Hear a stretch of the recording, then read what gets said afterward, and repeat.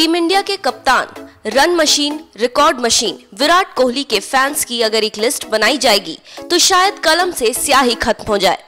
पिछले कुछ सालों में जिस तरह का खेल विराट कोहली खेल रहे हैं, उसके बाद से लगातार उनकी फ़ैन फॉलोइंग बढ़ती ही जा रही है। कोहली के फैंस में अब एक नाम और जोड़ लीजिए।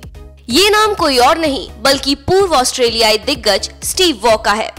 दरअसल ऑस्ट्रेलिया के पूर्व कप्तान स्टीव वॉ ने टीम इंडिया के कप्तान विराट कोहली की जमकर तारीफ़ की है। वॉ ने कहा कि भारतीय कप्तान कोहली की बल्लेबाजी तकनीक दुनिया के मौजूदा क्रिकेटरों में सर्वश्रेष्ठ है।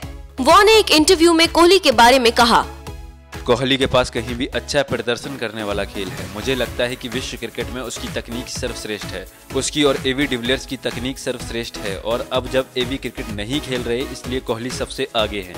उन्हें बड़े मौके पसंद हैं, जैसे ब्रायन लारा तेंदुलकर रिचर्ड्स और जावेद मियंदाद जैसे सभी महान बल्लेबाजों को होते थे। वे बड़े मौके चाहते हैं और इससे उनका सर्वश्रेष्ठ क्रिकेट उभर कर आता है।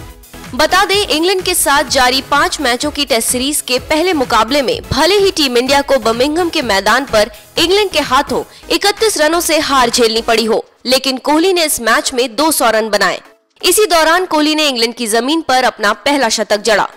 वो आईसीसी की टेस्ट क्रिकेट रैंकिंग में ऑस्ट्रेलियाई पूर्व कप्तान स्टीव स्मिथ को पछाड़कर शीर्ष पर आ गए हैं।